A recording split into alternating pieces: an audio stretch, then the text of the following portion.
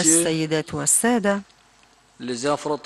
إن المواجهات التي تدور في السودان تشكل لدولتي ليس فقط لدولتي ولكن لكافة دول الجوار مصدر قلق بالغ.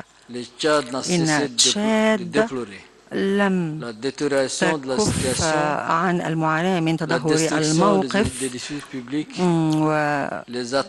والهجمات بين تستأون الهجمات بين المدنيين و في هذا الصدد إنني أناشد إلى بحث مشترك عن حل ملائم لعلاج هذا الموقف الطارئ ومعالجة نقص الغذاء ونقص الأدوية ونقص المعدات نقص المعدات الطبية مما والذي كان من ضمن الأسباب التي أثرت تأثيرا غير طيب على الأبرياء ونحن يجب أن يكون هناك نوع من التفاعل في الجهود ودعم المبادرات الدولية من أجل حل الأزمة السورية. السودانية وخاصة من خلال الاتحاد الإفريقي ومن خلال إرساء آلية موسعة بشأن السودان وأيضا من خلال جماعة الدول العربية.